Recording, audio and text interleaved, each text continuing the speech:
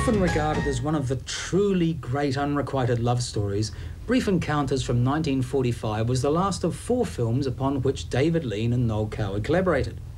Now, Coward was perhaps the very first Britpop star, being an actor, writer of 140 plays, novelist, director, songwriter, producer, singer, and all round wit.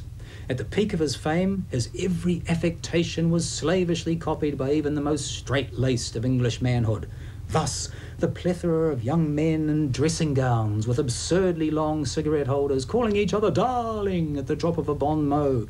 And this despite his obvious homosexuality and the drugs and sex scandal that erupted around his 1924 play, The Vortex. Rather than destroying his career, it seemed to give it an extra burst of energy. By 1930, he was the highest earning author in the world. At the dawn of the 60s, he turned down the role of Dr. No, despite his experience as a World War II undercover agent for British intelligence and his long term friendship with neighbour Ian Fleming.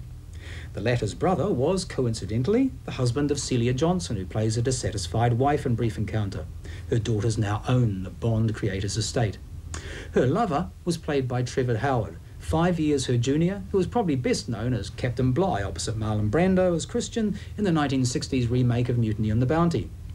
Now, the extremely broadly acted parallel romance played out in the Railway Cafe features Stanley Holloway, who will always be remembered as My Fair Lady's Alfred P. Doolittle on both stage and screen, and Joyce Carey, who was also in last week's Blithe Spirit.